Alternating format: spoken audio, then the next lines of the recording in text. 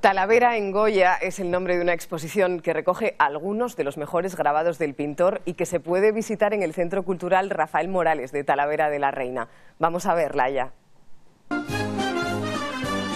Los toros vistos desde el genial pincel de Francisco de Goya, uno de los más grandes genios de la pintura universal. Además marcó una época, fue precursor de las corrientes pictóricas del 19 y principios del 20. Grabados recuperados por este investigador y que proceden de colecciones privadas, toros que están en la raíz cultural de nuestro país y que además la especial preocupación del pintor con el mundo de la tauromaquia tiene relación a través del tiempo en opinión de Javier Gallego con los deseos de nuestros días de proteger la fiesta nacional. Creo que el nuevo gobierno, el gobierno que entró eh, recientemente de María Dolores de Cospedal, fue el primero a nivel nacional que apostó por, por los toros como bien de interés cultural. Sabemos que Goya era un gran aficionado a los toros, era amigo de torero.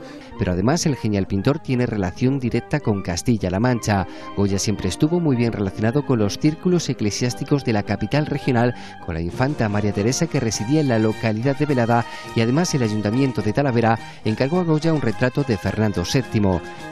El original se perdió y ha sido este el que ha llegado hasta nuestros días son muestras de genialidades de un pintor universal cuya obra podemos visitar en el Centro Cultural Rafael Morales de Talavera. Con el Goya más manchego les dejamos buen fin de semana. Gracias por acompañarnos y por favor no se resistan. Castilla-La Mancha engancha.